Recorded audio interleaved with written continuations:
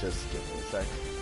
Um, but anyways, let's talk about this for. Let's talk about what we're going to going into is the offensive variation strategy.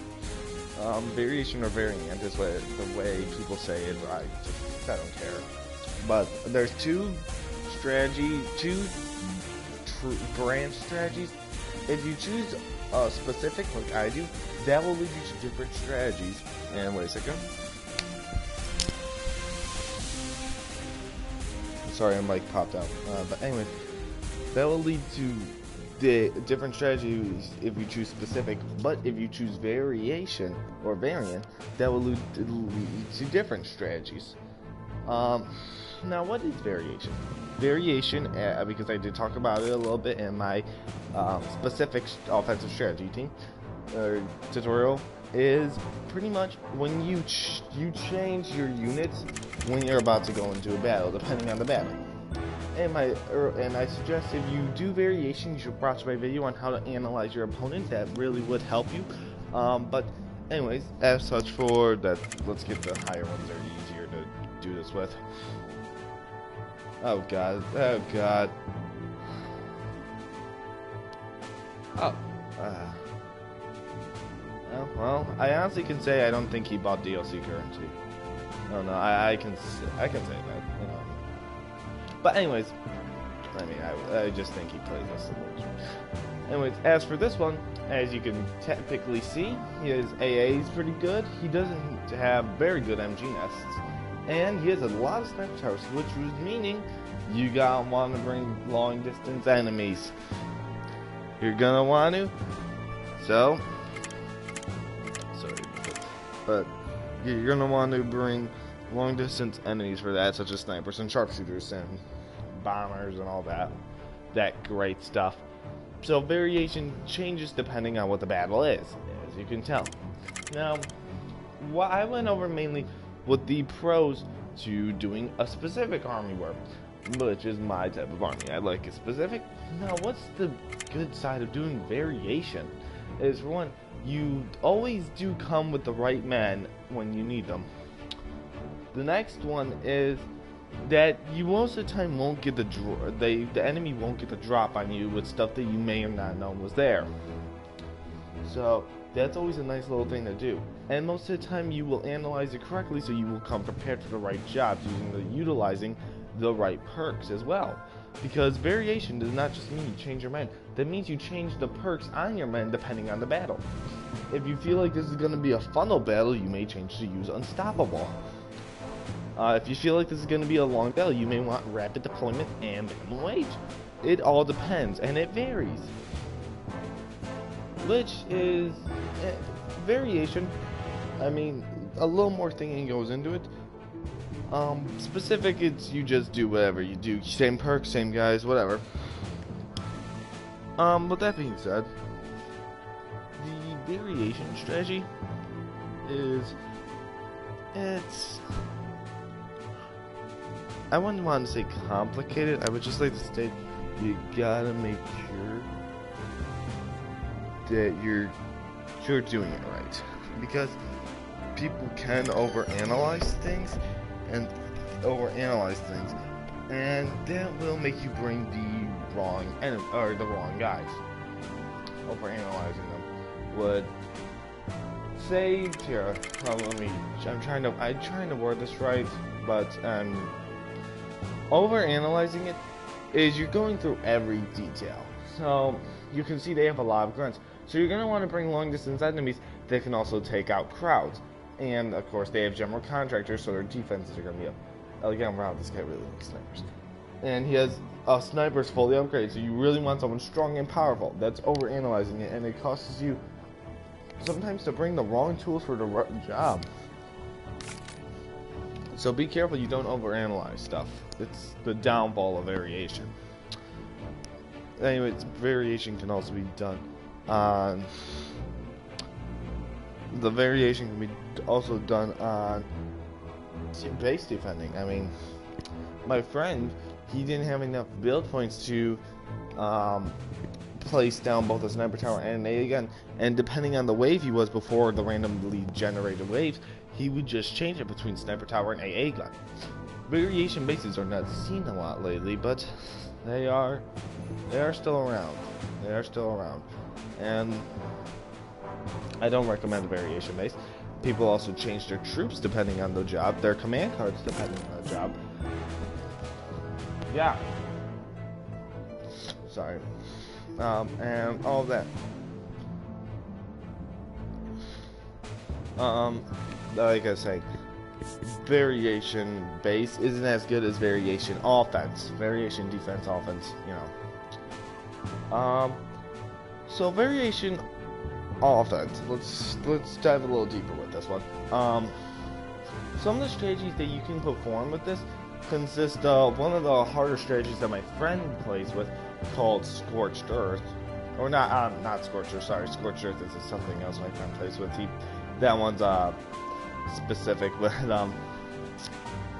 Uh, the strategy my friend plays with, he likes to call it uh, blitzkrieg, like when you know during World Wars, that was what they were doing. They were doing blitzkrieg, taking islands. So um, he likes to do that. Blitzkrieg is a strategy, and I will actually specifically have a video on this this uh, this strategy my friend uses called blitzkrieg. But pretty much, blitzkrieg during the war was you would go to different islands and utilize different parts of war.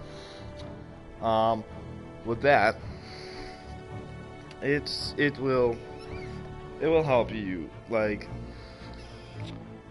the whole point of this strategy is and I'm sorry if I'm you know not I'm trying to think of how to word this correctly so it doesn't sound like I'm like you know like some godly strategy.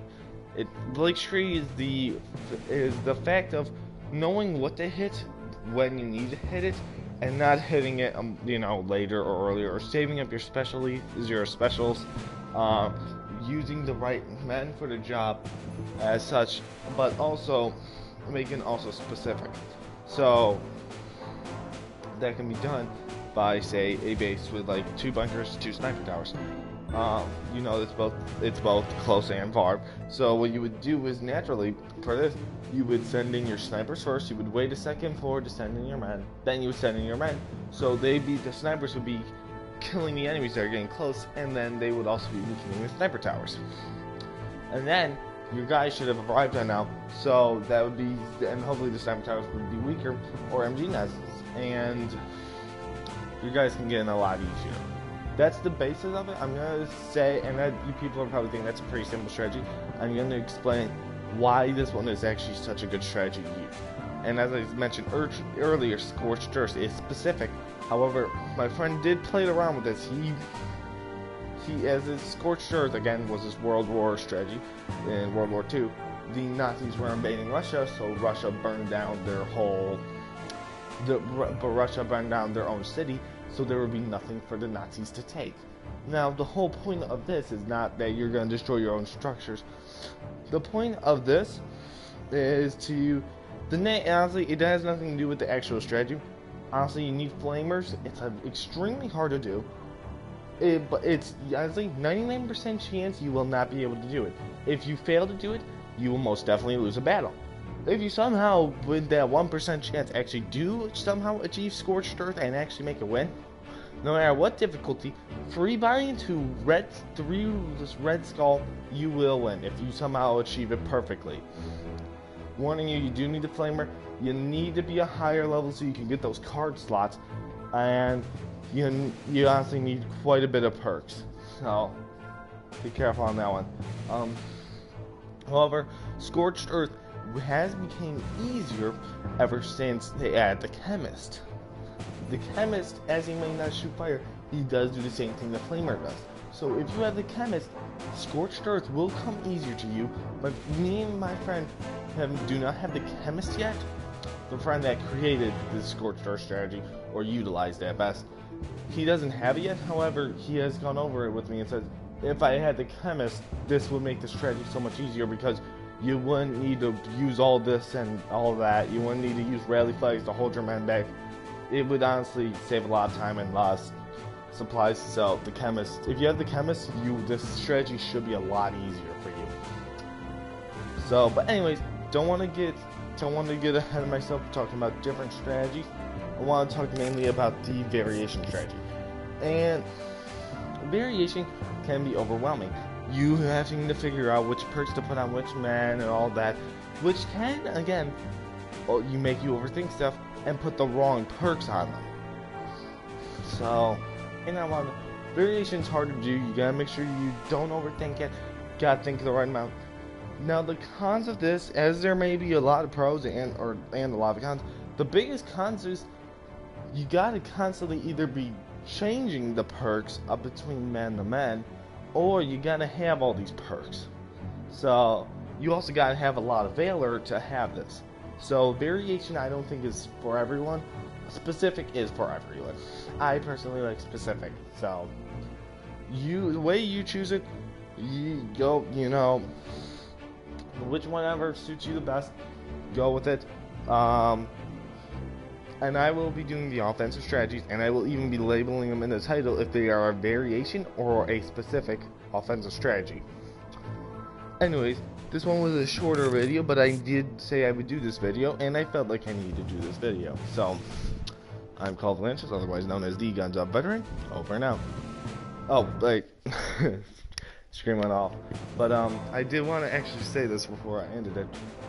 Is um, is a chemist. I'm actually check if the chemist. Yep, chemist is still available for sale. I think the this is the last day of the event. I think it won't be on tomorrow.